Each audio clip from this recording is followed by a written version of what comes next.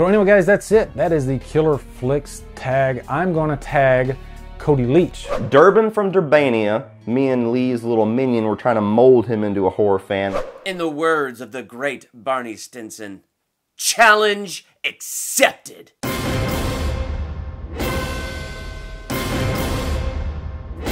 Welcome to Durbania. I'm Durban, and this is my Killer Flicks tag video. I was tagged by Cody Leach, and if you don't know what Killer Flicks is, it is a Facebook group that Cody Leach and Lee of Dumb Drums have been so nice to invite me to be a part of on Facebook, so it's fun to be a part of that. And Lee of Dumb Drums and Cody Leach have kind of been mentoring me, I guess. Is that the right word? Mentoring me? I don't know. But introducing me to horror films that I had not seen before. And so Cody Leach, I guess, decided to tag me in this tag video so that he can test my knowledge and see if, as a student and as a pupil of his, am I really seeing more horror films and getting to know them better. So, Cody Leach, maybe I can make you proud. Or at least laugh hysterically. I don't know. We'll we'll see at the end of this video. All right. So, here we have a list of questions. Let's go through these. Number 1, who is your favorite vampire character, performance, etc. in a killer flick? My favorite vampire in a killer flick would be Gary Oldman from Bram Stoker's Dracula. That dude is just awesome. That's probably the best Dracula movie I've seen. And I think to this day, it is my favorite vampire movie. I mean, yeah, I have a lot of fun with Underworld and things like that, but I think that Dracula movie is just my favorite, and Gary Oldman has the best interpretation of that character. I freaking love it. What was the very first killer flick that opened your eyes to the world of horror? I'm gonna have to say Dracula. that very the very same movie. I mean, yeah, Cody and Lee have been introducing me to other things, and I think the first big thing I watched uh, for an analysis on my channel was The Mist, which was a lot of fun. But I think like the first real horror movie I ever saw was this Dracula movie, and I just thought it was awesome. And I think I saw it because I did a lot of community theater back in the day, and I was actually in the Dracula play, and I played this guy who had this really awful plastic knife, and I hurled it at the beast Dracula, and I killed him on stage. It was awesome until the final show where the script of the play was just so bad the guy playing dracula was laughing hysterically. As he's laying there dead and i'm trying to be all like dramatic you know like i slayed the vampire and the vampire's on the stage laughing hysterically. The audience is laughing hysterically didn't mean to have that memory come up today. Number three, so what's a really standout geographical setting for a killer flick, i.e., the thing is set in Antarctica? Any that you really remember and love for being so original? I would say for The Shining, the exterior of the hotels, like, I, that was cool. Like, the whole setting and all that's cool, and that's in Oregon. It's actually obtainable for me to get there. Like, I could drive there, so maybe one day I will. I'm kind of excited about the prospect of that. Number four, what killer flick are you embarrassed to say you love? None.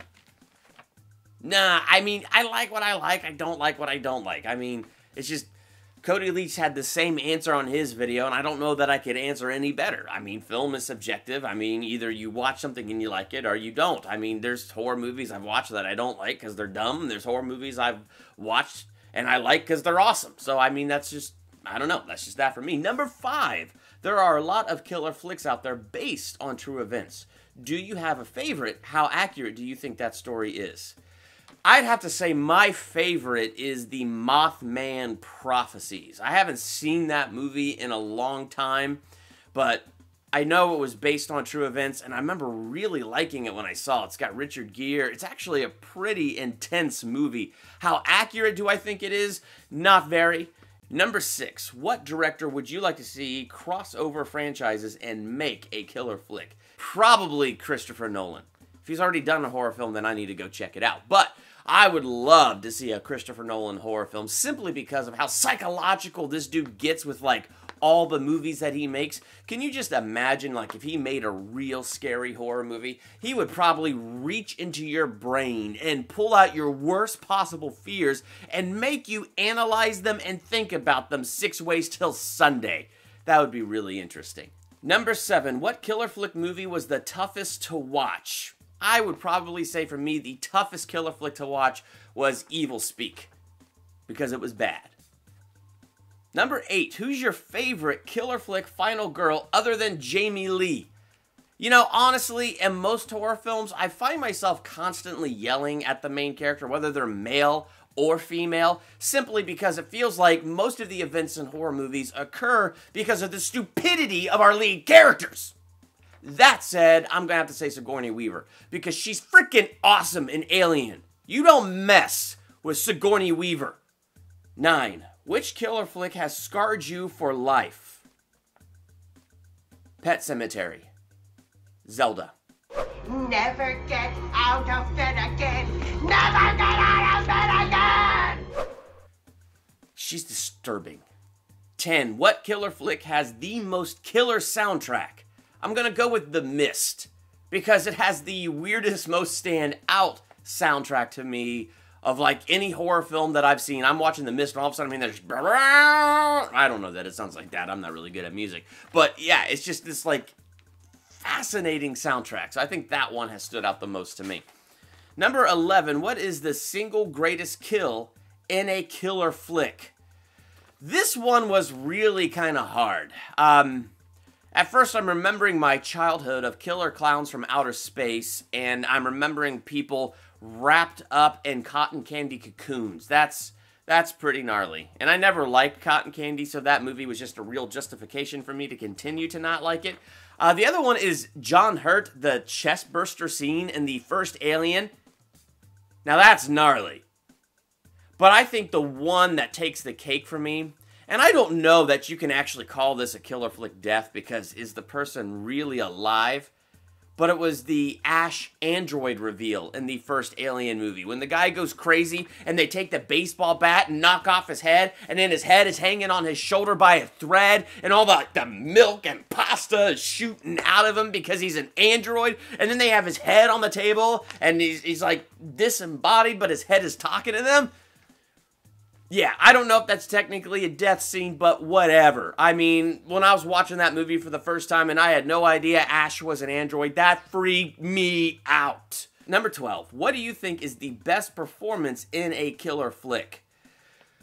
Oh man, this was kind of hard, but I definitely had to put down John Goodman from 10 Cloverfield Lane.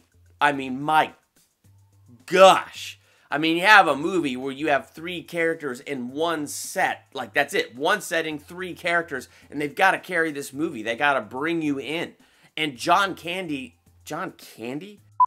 And John Goodman just absolutely stole that from me. That might be more a thriller than a horror film. To go officially horror film, I also got to say Kurt Russell in The Thing. I had so much fun with that movie, The Thing, and Kurt Russell is pretty darn amazing in it. 13. What killer flick horror location would you like to visit? I want to visit the hotel in The Shining. That is where I would like to visit. And the fact is, the exteriors are the um, Oregon's Timberline Lodge. And I know this because I got to play a bad guy in a short zombie film that more than likely I hear is going to be entered into a film festival, a horror film festival that gets played at the Timberline Lodge. So yes, if that happens, I'm definitely gonna be there and watch me play the dude that's more scary than zombies. Yeah, I play the dude that is more scary than the zombies. Number 14, are there any killers from a killer flick that you sympathize with?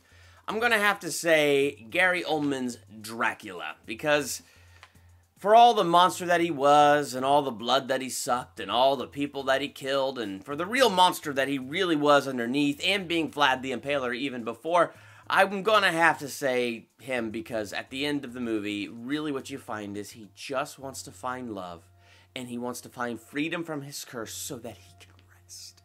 So that he can rest.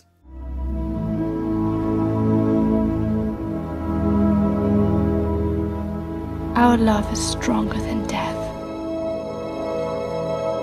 I'm really not that sympathetic toward him, but it's the one that I could find that I'm the most sympathetic toward. So, this was my Killer Flicks video tag. The people that I would now like to tag, I'm going to tag Jeremy G. Branch over at Movies Are Terrible. He's one of my earliest collaborations, so I thought, hey, that'd be fun. So, Jeremy tag, and I'm to tag my friend Matik. Matik and I, we did some awesome Fast and the Furious videos back and forth on his channel and on my channel, and I thought, hey, let's do this, Matik. Let's see your killer flag, killer flags, killer. Gosh. Killer Flicks tag list that's the word that I'm looking for. So let's let's do this. All right, so those are my tags. Thank you, Cody. Thank you, Lee, for tagging me. This has been a blast. So, Cody, I hope I passed your test. Check out the other videos on my channel, my movie reviews, theological analyses, ranking videos, trailer reactions, and all that stuff. Hit the subscribe button to become a Durbanian and hit the bell next to the subscribe button so you're notified when all those videos drop. I'm Durban. Thanks for checking out Durbania.